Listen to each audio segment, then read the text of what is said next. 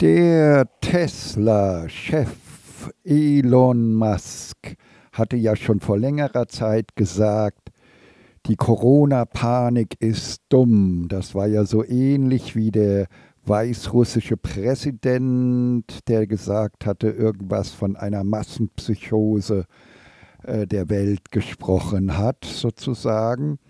Und der Tesla-Chef äh, Elon Musk ist jetzt wohl richtig ausgerastet, also so mitgekriegt hat, welche wirtschaftlichen Schäden und welche Arbeitsplätze, äh, äh, Plätze, Platzschädigungen und natürlich auch Schädigungen seines Unternehmens dieser Shutdown auslöst und äh, redet, sagt, das Ganze sei faschistisch und so weiter. Also der ist wohl regelrecht ausgeflippt, ja.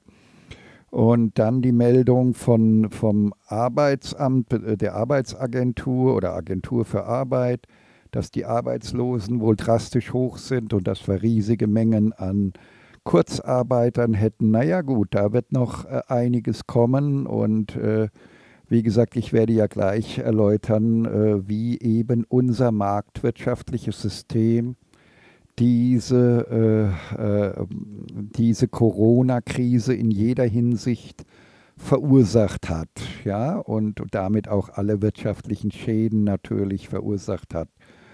Äh, ganz abgesehen davon, dass sowieso Marktwirtschaft grundsätzlich immer ein Schaden der Volk für die Volkswirtschaft ist, werde ich ja gleich wieder beweisen, ja.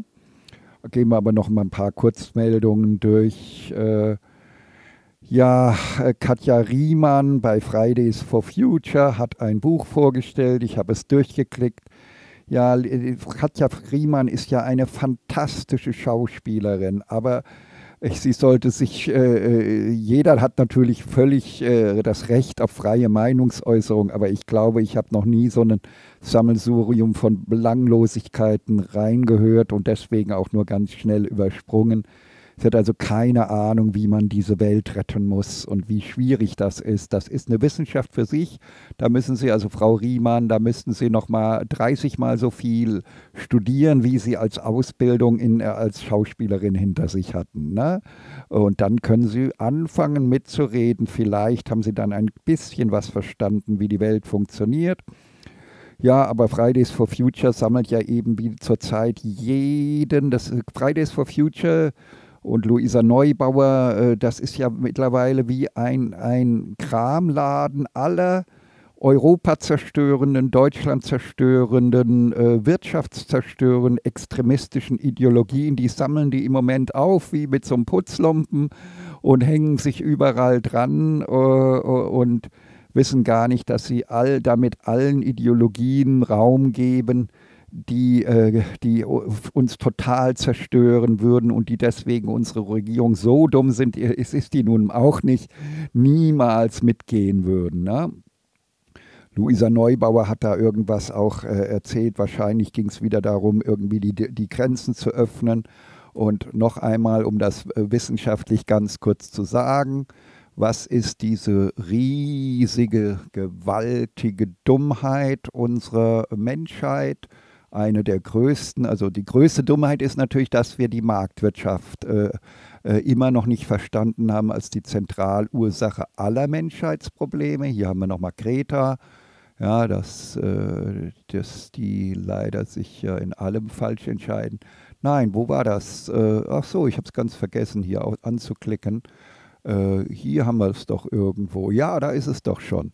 Also der größte Irrtum ist, dass diese ganzen Linksradikalen irgendwie in einer Illusion der Gleichheit leben. Und dann ist natürlich für Luisa Neubauer so, da ja alle Menschen auf der Welt Genies sind, können wir natürlich auch alle retten und anstatt sie in Asylanlagen äh, in, äh, in der Nähe von Syrien alle aufzufangen und dort ihnen zu helfen, äh, können wir die doch alle auch ins Land holen, denn die sind doch alle Gold, die, die sind doch alle Genies und werden deswegen unsere Wirtschaft stärken.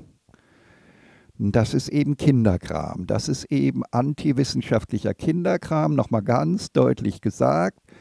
Das Genom, die DNS, ist aus gutem Grunde in der Evolution ein Ungleichheitsgenerator. Und wenn, wenn 100 Kinder geboren werden von den gleichen Eltern, dann ist eins davon klein, eins davon mittelgroß und eins davon sehr groß. Allerdings nur in einem engen Spielraum. Also man muss es wahrscheinlich, wenn, wenn nehmen wir mal an, diese Eltern wären absoluter Durchschnitt, äh, dann wäre das eine Kind kleiner, mittelgroß und etwas größer. Und genauso wäre das eine Kind dumm, mittelklug und klüger. Ja, leicht überdurchschnittlich klug. Und, und das ist leider genetisch vorgegeben, dass wir überall riesige Ungleichheiten haben. Ja? Ja, und wir haben eine Ungleichheit bei Erwachsenen zwischen 900 Milliliter Gehirnvolumen angeblich und 2 Liter Gehirnvolumen. Und nicht jedes 2 Liter Gehirnvolumen ge hat auch äh, maximale Klugheit dann zur Folge, aber die Wahrscheinlichkeit ist sehr hoch, dass also die Korrelation wird nicht eins zu eins sein, das ist sie wohl nirgends, aber äh, oder nur selten, aber äh, äh, äh sie wird schon recht, recht hoch liegen. Ja? Das heißt also, wir brauchen oder was gut ist, Multikulti, durchaus ja, gerne, aber nur die fähigsten aus aller Welt, die nachweislich fähigsten aus, aus aller Welt.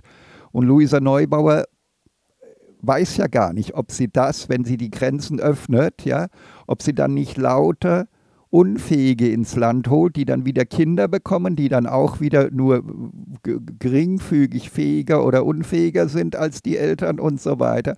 Und ob sie dadurch nicht die gesamte deutsche, europäische Wirtschaft total zerstört.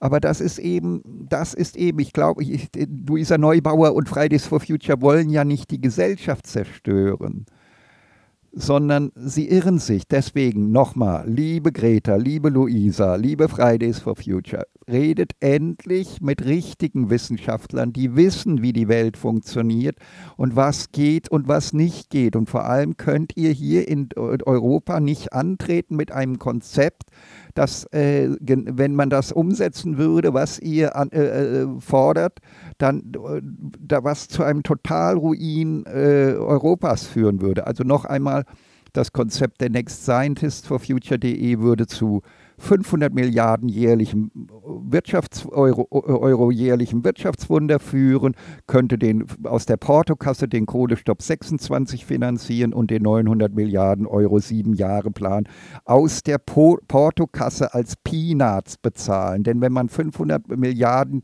durch die Beendigung der Marktwirtschaft 500 Milliarden jährlich plus macht, dann ist, äh, sind die Kosten für die Klimaziele nur Peanuts.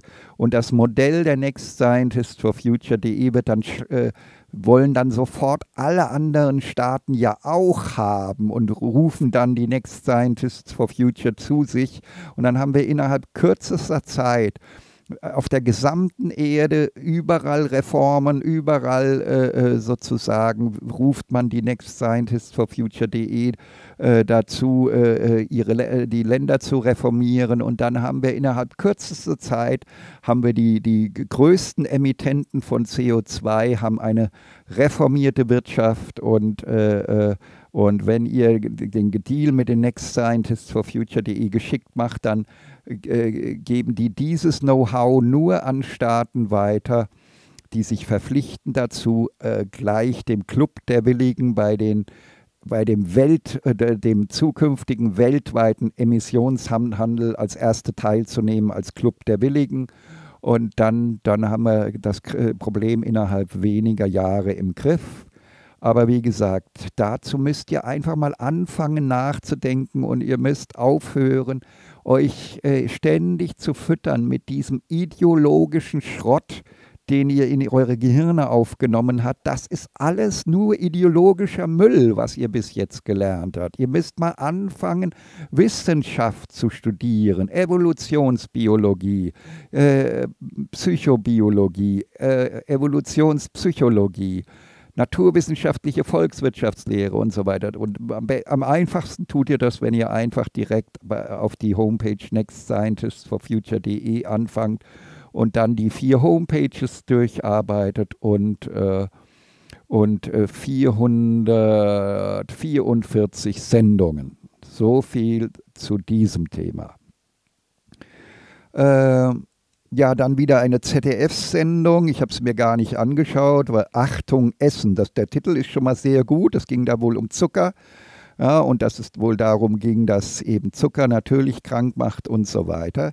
Ja, aber eine, die Kombireform Ernährung, Gesundheit und Pflege, die diese Skandale endlich ein für alle Mal beendet, können halt nur die Next Scientists for Future.de. Die kann sonst auf der Welt niemand. Und es ist völliger Quatsch, äh, eine Sendung nach der anderen, ja. Äh, das ist einfach für Journalisten, ja, es ist ja schön, dass alles so schief läuft. Da hat man immer was zu berichten, ja. Dadurch haben die äh, Journalisten immer wieder, kriegen die so einen Auftrag für solche Sendungen, ja. Aber das, das bringt uns alle nicht weiter. Wir wissen längst, dass alles schief läuft. Und die Lösung, es geht doch jetzt darum, dass wir uns den Lösungen zuwenden. Ne? Und die haben halt die Next Scientist for Future.de. So, äh, in, dann haben wir Hans-Georg Maaßen ist wieder aufgetaucht in einer Fernseh-, also in einer Internet-Fernsehsendung, ja, äh, also so Radio-Talk-Fernsehsendung, wie man es auch immer nennen will, ja. Äh, und zwar haben, äh, haben das der Sender News und Talks, auf dem ja auch äh, unsere Sendungen ziemlich regelmäßig erscheinen, hat das in seine Playlist Nummer 2 aufgenommen, also zweite News und Talks für gebildete Playlist. Äh, da äh, das letzte Video, äh, die letzte Sendung vor dieser Sendung ist dann die mit Hans-Georg Maaßen, weil der so sachlich ist und auch nochmal ganz klar sagt hier, also äh, Hans-Georg Maaßen kritisiert in dieser Sendung äh, die, äh, die Stützung der politischen Entscheidungen auf viel zu wenige Wissenschaftler, anstatt auch auf die 120 kritischen Wissenschaftler zu hören. Dabei vergisst er natürlich wieder die Next Scientist for Future.de, denn die wären die wichtigste Stimme gewesen dabei. Und äh, er bestätigt in allem die Nachdenklichkeit, äh, die wir ja auch hier in den letzten, äh, letzten Sendungen seit dem 25.02.20 geäußert haben. Ich habe mal nachgeschaut. Also die erste Sendung über Corona war am 25.02. die Nummer 327. Allerdings hatte ich damals vergessen, auf Corona einzugehen und das hatten dann der, der Sender im, im, im, im Kommentar dann nachgetragen, worum es gehen sollte, nämlich dass eben äh, Corona einmal also dass die Ursache für, für, für die Corona-Krise in jeder Hinsicht die Marktwirtschaft ist, denn einerseits sorgt sie äh, für unser geschwächtes Immunsystem, was ich ja alles gleich noch wieder beweisen werde in Kurzversion. Und, äh, ähm, und dann, äh, äh ja, und die Hysterie bzw. die Hypochondrie die genau, auch diese wurde durch die Marktwirtschaft erzeugt. Also die Marktwirtschaft erzeugt einmal die Immunschwäche, dass wir überhaupt äh, äh mit Viren Probleme bekommen können, ja, und äh, und die Marktwirtschaft erzeugt gleichzeitig auch noch die Hysterie, also die Übertreibung des Ganzen sozusagen. Ja? Also beides wird verursacht durch die Marktwirtschaft und unsere erste Sendung, die darauf hingewiesen hat, war also am 25.02. Und seitdem haben wir ja dann äh, immer wieder darauf hin, hingewiesen, dass das alles eine, eine, ein Wahnsinn aufgrund der Marktwirtschaft ist. Ja? 327 war also dann die erste Sendung. Da muss man unten im Kommentar gucken und dann geht es weiter mit der 332 und dann wird ja Corona zum Standardthema auch dabei. Ja, die, also Hans-Georg Maaßen hatte ich erledigt gehabt. Dann hatten wir noch, äh, ja, dann ist mir noch insgesamt aufgefallen beim Schauen vieler Sendungen hier, die Verschwörungstheoretiker haben so richtig schön Spaß daran, ja, alles, was an Bösem ausdenkbar wäre, auch zu unterstellen. Da erinnere ich nur daran, dass man vielleicht dass sich an Ockhams Razor erinnern sollte, quasi an Ockhams Rasiermesser, dass man also wirklich nicht äh, erstmal nur das Wenigste annehmen sollte und nicht immer gleich das Größte annehmen sollte, also immer gleich irgendwie zu übertreiben. Ganz generell ist es so, dass man sagen kann, ich finde die Situation des Internetfernsehens insgesamt traurig.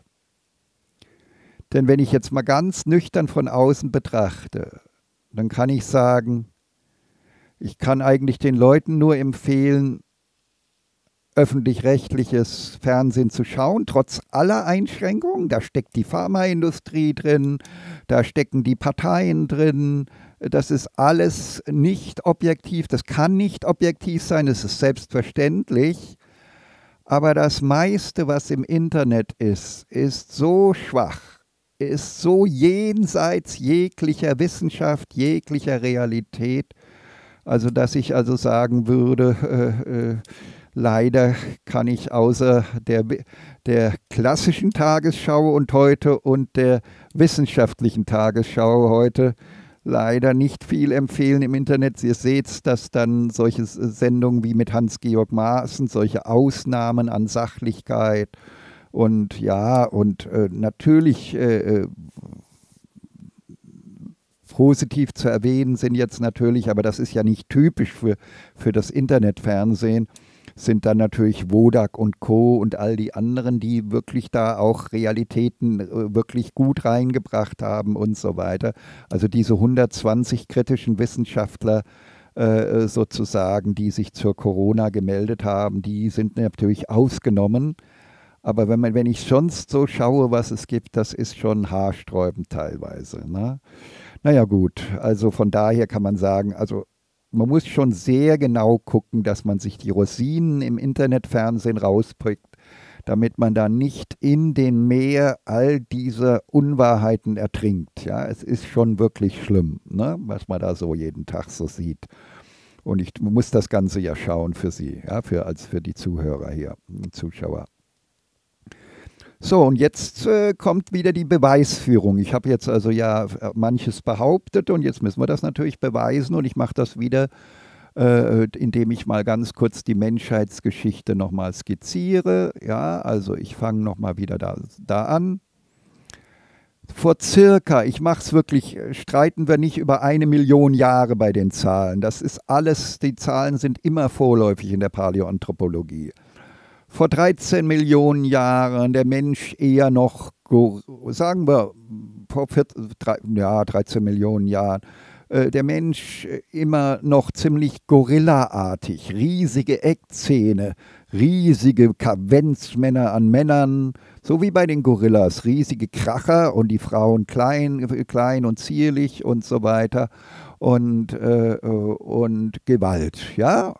Dann vor vier Millionen Jahren hatten wir endlich äh, äh, sozusagen unsere Urgroßeltern endlich die Eckzähne verloren. Das Sozialsystem wechselte von Harem zu, Kommu zu Gruppenehe, also zum kommunistischen Lebensform, äh, die, die also immer pazifistischer wurde, weil es gab dann keine Rivalenkämpfe mehr, denn die Eckzähne waren sozusagen, die dienten bei, dienen ja auch bei Gorillas ausschließlich der Rivalenkampfsbedrohung, also der Drohung im Rivalenkampf. Ne? Das heißt also, wir, wir, wurden, wir verloren unsere genetische Eifersucht, wurden eifersuchtsfrei vor vier Millionen Jahren und das evaluierte sich immer weiter, dass wir dann nach und nach auch den Unterschied in der Körpergröße immer stärker verloren, sodass wir alle Merkmale eines gorillamäßigen Rivalenkämpfers in unserer Art verschwanden, in, bei unseren Vorfahren verschwanden und einer hochsozialistischen, hochkommunistischen Lebensweise Platz machen, die extrem pazifistisch war, am ehesten noch von den Bonobos äh, erreicht, ansatzweise erreicht äh, wird heutzutage sozusagen die einzige Art, von der wir überhaupt was lernen können, äh, äh die Bonobos Pampaniscus. Und äh, dann äh, haben wir vor 400.000 Jahren quasi in der glücklichsten Phase äh, gelebt, äh, ähm, mit äh, äh, sozusagen maximaler Lebensqualität, Langlebigkeit, Gesundheit und absoluten Pazifismus, liebevolle Beziehungen zu den Nachbarkommunen und so weiter. Und äh, mit gegenseitiger Hilfe, da gab es ja jetzt auch so eine neuere Studie, dass man sich dann tatsächlich gegenseitige Sachen gelie äh, geliehen hat, wenn irgendwas fehlte oder so. Also eine gruppenübergreifende, kommunenübergreifende äh, äh Kooperativität, ja, äh, statt Krieg sozusagen und Gewalt. Und dann wurde die, die, äh, äh, ja, die Marktwirtschaft des Chefideologen der Marktwirtschaft in Deutschland, Dr. Markus Krall, dessen geliebte Marktwirtschaft oder von ihm verherrlichte Marktwirtschaft wurde erfunden. Und dann passierte etwas. Ja, und dann passierte der Hammer sozusagen. Ja nämlich äh, dass äh, ich nehme wieder nur ein Beispiel, ich mache mal wieder das Beispiel des Krieges, ja, ich, ich kann, ich mache in jeder Sendung immer andere, andere Beispiele, Sie müssen schon alle Sendungen schauen, dann kriegen Sie mal die Palette der verschiedenen Beispiele mit, ja.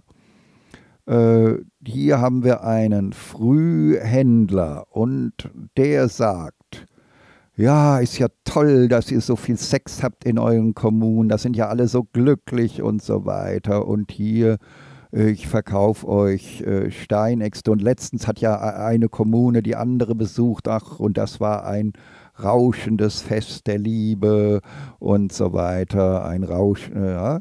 Und äh, und dann ist hier sein Konkurrent, äh, weil wir jetzt ja Marktwirtschaft haben, ja, also Wettbe sein Wettbewerber und der irrt sich zufällig, ja, vielleicht der Tausendste in der Evolution oder der Hunderttausendste, egal wann. Irgendeiner irrt sich auf jeden Fall mal. Mutation und Selektion, Naturgesetz. Und der erzählt, ach ja, da hat eine, eine Kommune die andere nachts heimgesucht, also nicht besucht, der, der hat die Sprache falsch verstanden, heimgesucht und das war ein Blutrausch, nicht ein rauschendes Fest der Liebe, sondern ein Blutrausch hat er verstanden. Ne? Und jetzt kriegen natürlich seine Zuhörer Angst und außerdem hier der erzählt, äh, ja, und, und, und, äh, und, und der hier erzählt dann auch noch, ach, und äh, außerdem ist das eklig, äh, dass hier so viel schmust und so weiter und, und, und all das, ach, ist das widerlich und unkeusch und unmoralisch, ja. Und hier die Leute kriegen erstens Angst vor einem möglichen Überfall, kaufen ihm Steinäxte, also erste Frühwaffen ab. Er macht riesigen Umsatz durch seine Geschichte, durch seine Irrtumsgeschichte. Und, äh, äh und äh, ähm, ähm, äh, und dadurch, dass er den Leuten Angst vor der Sexualität macht, äh, nimmt die Liebe in den Kommunen ab und es kommt zur Au Abspaltung äh, sozusagen. Und die, die, wo sind sie? Die Milliardärskönige und die Verbrecher. Also oben, also oben in der Normalverteilung. Wo ist die Normalverteilung? Ja, da sind wir schon zu weit, glaube ich. Hier, die, oben in der Normalverteilung spalten sich die Vorfahren der heutigen Milliardärskönige ab. Und da unten spalten sich die Verbrecher ab, die dann mit Gewalt versuchen, ihr Glück zu suchen, mit Verbrechen ihr Glück zu versuchen. Und die werden halt Händler, auch Händler. Und, äh, und, und werden dann, die Vorfahren, äh, werden dann unsere heutigen Milliardärskönige. Und dadurch ist jetzt quasi äh, die gesamte Gesellschaft gespalten. Und, und dieser hier, dieser Händler hier, der verkauft viele Steinäxte und die Leute werden konsumsüchtig gegenüber seiner krankmachenden Kunsternährung, ja, weil die Leute ja nicht mehr das Liebesglück haben. Das raubt er ihnen ja mit seinen Kommunikationen, mit seiner Gehirnwäsche. Und dadurch äh, kann der unheimlich viel Waffen verkaufen und Konsumgüter verkaufen, er kann hier zwei Kinder ernähren, drei Enkel, zwei Urenkel und so weiter. Und dadurch äh, begründet er die moderne die modernen Handelsgroßfamilien sozusagen. Und jetzt gibt es nur eine Rettung davon und der die heißen nextscientistforfuture.de. Die, die sagen jetzt also hier, wir müssen diesen Wahnsinn dieser gewinnbringenden Irrtümer, auch dieser, äh, dieser ganzen medizinischen gewinnbringenden Irrtümer, die uns die Corona-Hysterie gebracht haben, die müssen wir alle beenden. Also all diese gewinnbringenden Irrtümer, die unsere ganze Welt wie eine Seuche durchziehen, diese Viren des Geistes sind die eigentliche Bedrohung der Menschheit. Und das müssen wir jetzt beenden. Zum Beispiel eins von 100 möglichen Konzepten wären also die Wohlfühlstimme, die Wohlfühlstimme also eine neue Wahlstimme, sodass dann derjenige Händler hier, der zum Beispiel die Leute zum Krieg aufhetzt, ja, und, und um Waffen zu verkaufen. Äh, die Leute, die dann im Krieg sind, haben natürlich, geben schlechtere Wohlfühlstimmen ab, ja, und dadurch äh, gibt der, kriegt er natürlich keine Verdienstzuschläge und geht, würde dann pleite gehen. Also wird er umdenken und wird sagen, ich liefere nur noch Friedensbotschaften und hetze niemanden mehr zum Krieg auf, weil ich dann keine Verdienstzuschläge mehr bekomme. Und, und ich, ich empfehle den Leuten auch nicht mehr krankmachendes Essen, dann kriege ich nämlich auch keine Verdienstzuschläge mehr. Und ich erzähle den Leuten auch keine Irrtümer mehr über Gesundheit und Krankheit, dann kriege ich nämlich auch keine Verdienstzuschläge mehr. Und plötzlich haben wir eine wahrheitsorientierte Welt. Die Irrtümer sterben aus und die Wahrheiten breiten sich aus. Und nach kürzester Zeit ist die Welt durchdrungen von Wahrheiten, weil es Verdienstzuschläge zukünftig dann nur noch für Wahrheiten gibt und all diese Irrtümer, diese Irreführung, die wir jetzt auch in der Corona-Krise sozusagen in der Hochblüte erleben, all diese gewinnbringenden Irrtümer, die sozusagen für das Geschäft der Medizin und Pharmazie gut sind, aber für den Rest der Menschheit total schädlich sind, diese Irrtümer und übrigens auch für die Milliardärskönige extrem schädlich sind, für die anderen, außer die, die Großaktien bei der Infama haben, ja, die oder in Medizin haben, die können jetzt äh, profitieren, ja.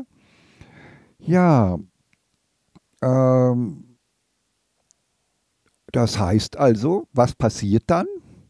Es werden, wenn sich dann rund um, um die, die äh, rund um die Hausärzte sozusagen äh, wieder Gesundheit, also richtige Gesundheitskommunen bilden, in denen man alles lernt über gesundes Leben und glückliches Leben, Tanzveranstaltungen ohne Alkohol und Zigaretten, alles, was Spaß macht und irgendwie einen inspiriert Richtung gesünderes Leben. Das wird von den Hausärzten demnächst kostenlos uns allen angeboten, kostenlos. Und wenn dann rund um diese Hausarztkommunen auch die ersten Lebenskommunen wieder entstehen und die dann hingehen und sagen, ja, liebe Milliardärskönige, kommt doch mal zu Besuch mit euren Familien zu uns und guckt doch mal, wie glücklich wir leben und wie viel schöner wir leben als das marktwirtschaftliche Leben war, wir leben wieder so wie vor 400.000 Jahren, als die Menschheit zum letzten Mal glücklich war. So leben wir wieder, mit, natürlich zusammen mit moderner Technik, angereichert mit moderner Technik. Äh, und äh, und äh, äh und äh, guckt doch mal, ob euch das nicht Spaß macht, bei uns mitzuleben, ja. Und dann äh, fangen die ersten Milliardärskönige an, mit ihren Familien da ein, äh, mitzuziehen. Und wenn dann die wirklich so glücklich sind und wenn sich dann alle lieb haben, wie das vor 400.000 Jahren der Fall war, dann kommt das, was vor 400.000 Jahren der Fall war, nämlich dass die Männer nämlich in solchen Kommunen immer alles, das sieht man bei den Bonobos heute noch, immer alles, was sie finden und haben und so weiter, den Frauen und Kindern, den geliebten Frauen und Kindern ihrer Kommunen schenken. Und dann, wenn die Milliardäre wieder schenken, dann ist irgendwann bald auch das Problem zwischen Arm und Reich. Äh, die Schere zwischen Arm und Reich gibt es dann gar nicht mehr, weil das immer alles in die gesamten Kommunen reinfließt.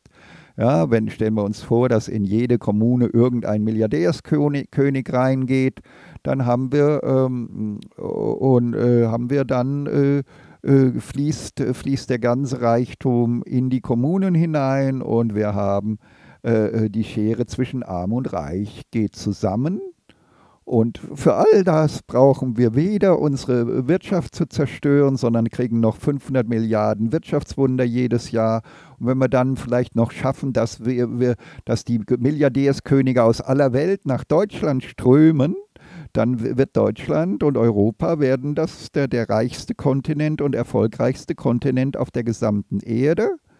Während das, liebe Fridays for Future, was ihr bis jetzt im Kopf habt, würde bedeuten, dass wir Europa unter das heutige afrikanische Niveau hin zerstören. Also eure Ideen sind Europazerstörungsprogramm pur.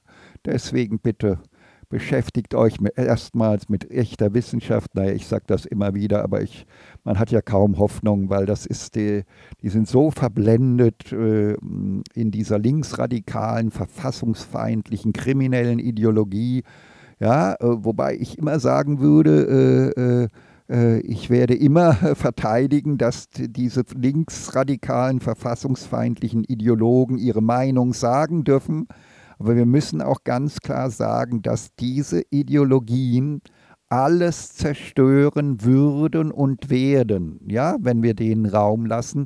Raum, diskutieren, ja, aber immer wieder widerlegen, immer wieder ganz klar sagen, hier, was ihr machen wollt, wie vorhin, wie ich vorhin gesagt habe, ja, hier, ah, schon wieder falsch rum.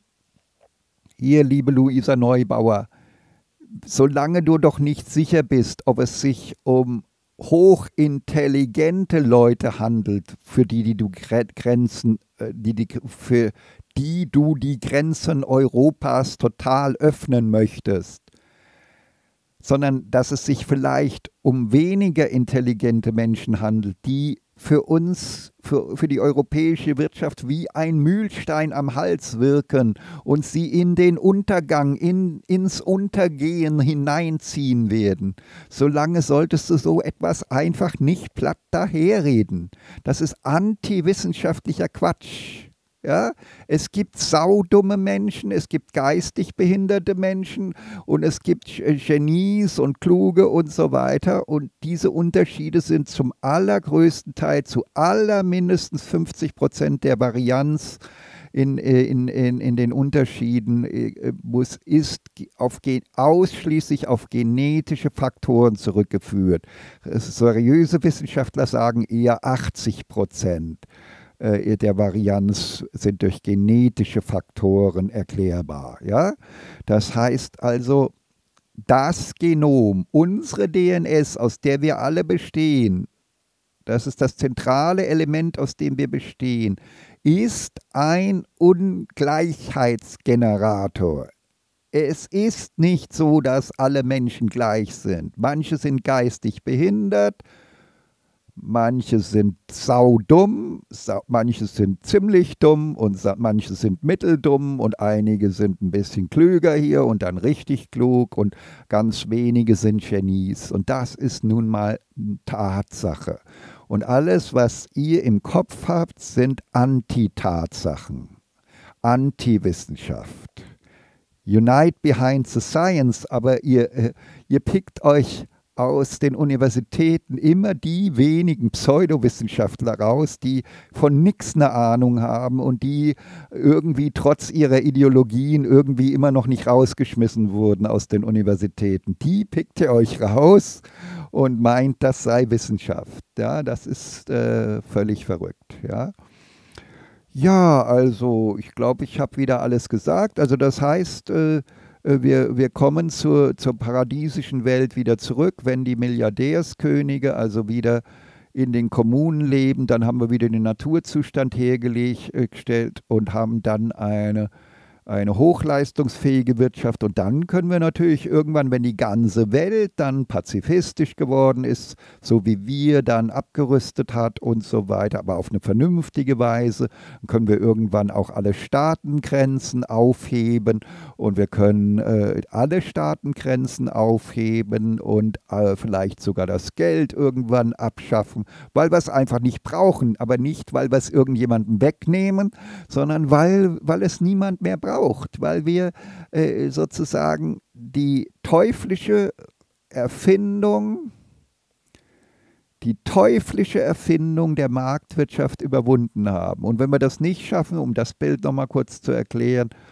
äh, wenn wir das nicht schaffen, dann wird es so sein, wir angeblich haben wir hier schon vor 40.000 Jahren hatten wir die größten Gehirne, waren schlanke, elegante, hoch aufgeschossene Menschen, dann vor 40.000 Jahren äh, kippte das Ganze und durch, den Effekt, äh, durch die Effekte der Marktwirtschaft wurden wir wieder dümmer. Jetzt haben wir so 1350 äh, Milliliter Gehirnvolumen vielleicht haben wir bald nur noch 1200 und dann sind wir irgendwann wieder primitive Affen oder so, weil wir, äh, weil wir einfach äh, durch die Marktwirtschaft alles verkehrt machen und zum Beispiel dafür sorgen in allen Staaten mittlerweile, dass da hier die ganz Dummen die Kinder bekommen und die ganz Klugen gar keine Kinder mehr bekommen. Und dadurch äh, geht die Evolution einfach wieder zurück. Denn die Gene für die kleineren Gehirne sind ja alle noch da, die sind ja hier. Die Gene sind ja, im, im, im, wenn man den Genpool so macht, dass man also äh, die vom Genpool ausschließt und von den Nachkommenkriegen ausschließt und die überwiegende Zahl der Kinder hier bekommen lässt, dann reduziert sich der Genpool auf das hier und dann sind hier die Gene, dann haben wir hier die Gene am Wirken von denen, also hier. Und dann sind wir bald äh, bei 1000 Milliliter Gehirnvolumen und dann vielleicht bald, bald bei 800 Milliliter, denn wenn wir das immer so weitermachen, dann haben wir bald wieder äh, 400 Milliliter Gehirnvolumen und äh, sind dann so dumm wie die Schimpansen. Und äh, wir können dann höchstens hoffen, dass wir doch wenigstens sozial so intelligent äh, sind wie die Bonobos. Aber solange wir den Tauschhandel dann immer noch betreiben äh, und, und, die Marktwirtschaft immer noch betreiben, wird es immer noch weiter bergab gehen. Ja? Also das heißt, es gibt in der Evolution gar keine Garantie für irgendeinen Aufstieg, ja? sondern die Marktwirtschaft ist das, was alles zerstört und da müssen wir raus und zwar sofort raus aus der Marktwirtschaft und das können nur die Next Scientists for Future.de und lest, äh, denkt mal dann ach über die Wohlfühlstimme als neue Wahlstimme, die würde schon einen Großteil der Welt revolutionieren. Ne? So, bis zur nächsten Sendung. Tschüssi.